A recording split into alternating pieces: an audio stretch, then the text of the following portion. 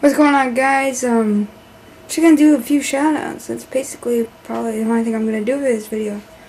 So first shout out goes to Dark Ecliptic Heart. One of, the guy who got me interested in this hobby, so thanks a ton man. DJ made DJ Medic 2008. That's our my next shout out. He has a lot of stuff going on. I'm not gonna actually tell you exactly what they do, but RC Vids, he has a few giveaways. I think he has some giveaways. Run videos, and maybe... I don't know about unboxings. I haven't actually looked at his channel exactly all the way yet. Uh, RC Hobby, 777. I think another 7. I think that's it, though. Because I just want a giveaway from him. That's why I mentioned his name especially.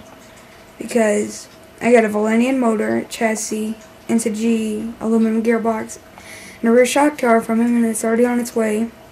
Oh, and that's probably going to be Blaze's next upgrade, just to let you guys now know. A new chassis, I think. But, I don't know, to, I've never actually done that before. But we'll see on that part, But, and... Uh, man, I know there's somebody else. Uh... I think that's it. I got no more. Oh, yes. Oh, yes. RC Guys 100. I haven't really watched his channel at all, but I know for sure he has run videos. And he's also having a giveaway, a Mamba Monster. You subscribe, you like the video, you already got a chance to get the Mamba Monster. You can't beat that with a hammer. Yeah, I would definitely go ahead and look at his channel real quick and look for that video. But that's about all the shoutouts. Thanks for watching. And Justin Woods out.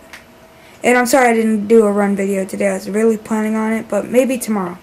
But I'll see you guys later.